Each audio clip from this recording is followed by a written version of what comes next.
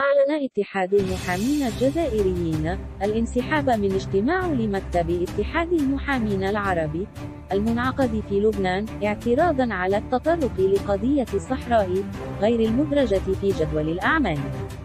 وقال الاتحاد الجزائري في بيان إن كلمة نقيب محامي مصر المنتخب حديثا رئيسا لاتحاد المحامين العربي باعتباره من دولة المقر تضمنت انحرافا عن المبادئ الأساسية للاتحاد بخوضه في مسائل لا هي مدرجة في جدول أشغال المؤتمر.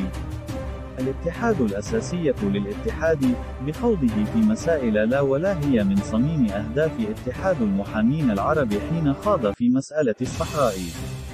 واحتج اتحاد محامي الجزائر في البيان على وصف الرئيس الجديد لاتحاد المحامين العربي للصحراء بعبارة الصحراء المغربية. تسميها الجزائر الصحراء الغربية.